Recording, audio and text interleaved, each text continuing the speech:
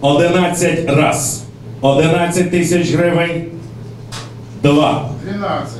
12 тисяч. За 16 тисяч гривень придбали картину Зимовий Дністер, яку виставила на аукціон адвокатка і художниця Анастасія Площинська. І саме оце враження від яскраво блакитної води мене е, от надихнуло е, написати цю картину. Кошти будуть передані на збройні сили, завдяки яким ми можемо дійсно е, особисто я можу творити, презентувати свої роботи і жити у рідному місті. Кошти, конкретизує Анастасія, підуть на придбання устаткування для ППО на Харківщині. Це розповідає її перша художня виставка. Моя творчість це е, те, що е, радує мою душу. І тема цієї виставки це моменти.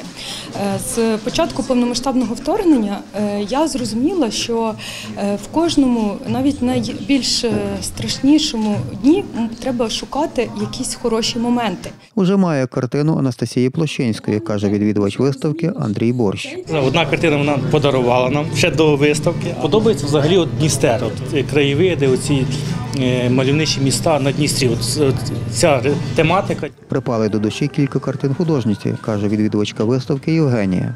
Чотири картини десь такі, що дуже для мене близькі, якось так для душі. Професійно навчатися художній справі Анастасія почала 4 роки тому, каже її художня викладачка Світлана Мельничук.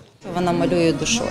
Вона от пере- переходить е, як це поріг е, майстерні, і людина міняється. Да? Тобто вона розцвітає, от як оці квіти, що ви бачите. На художній виставці представлено 50 картин Анастасії Площинської. Деякі з них, каже художниця, доставили на виставку з приватних колекцій. Михайло Жила, Юрій Чорний, Суспільне новини, Хмельницький.